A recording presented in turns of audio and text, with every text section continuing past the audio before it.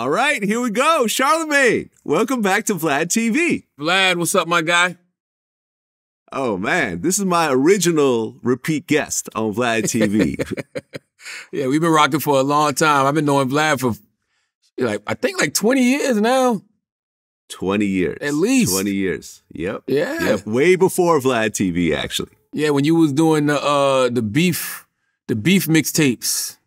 Yep and you was putting my stuff on the beef mixtapes. But yeah, I was I was coming to Vlad before Vlad was the the the multi million dollar conglomerate it is now. Multi multi million dollar media empire it is now and vice versa. I was rocking with Charlamagne before he was the, you know, had all the radio shows and the syndication and the BT and the Black Effect and the, the Crystal restaurants and that's whatever right. else you have that's been going on that I haven't been keeping track of. No, I reference, um, I always reference that one, uh, the one conversation I had up here after I got fired from Philly. I think I either came here the same day I got fired or like the very next day.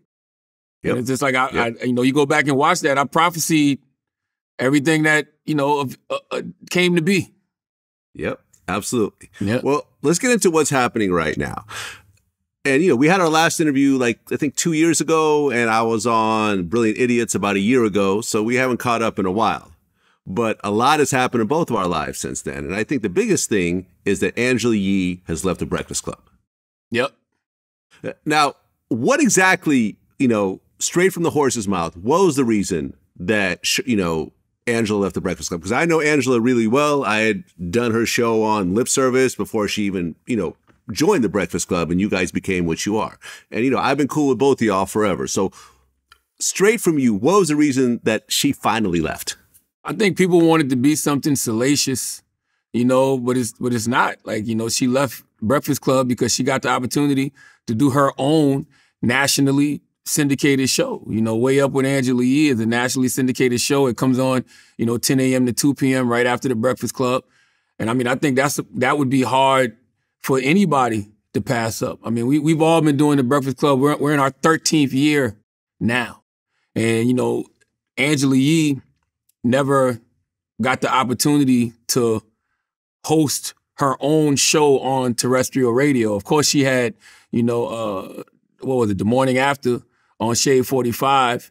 And that was kind of like after Cipha Sounds left. I think she, if, if, I'm, if I'm if I'm remembering this correctly, she was Cipha Sounds co-host, and then when Cipha Sounds left, she kind of like inherited that show. You know, made it her own, of course.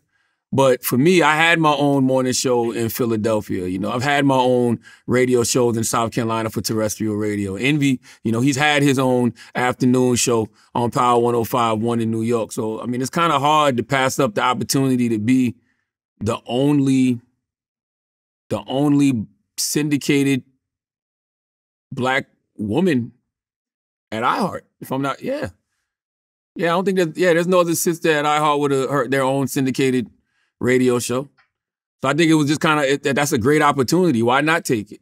And when you've been doing something for 13 years, everybody don't have the same um, you know, the same way of doing things. Like I like getting up in the mornings to do morning radio, 6 a.m. to 10 a.m. It, ha- it has I have not gotten tired of it yet.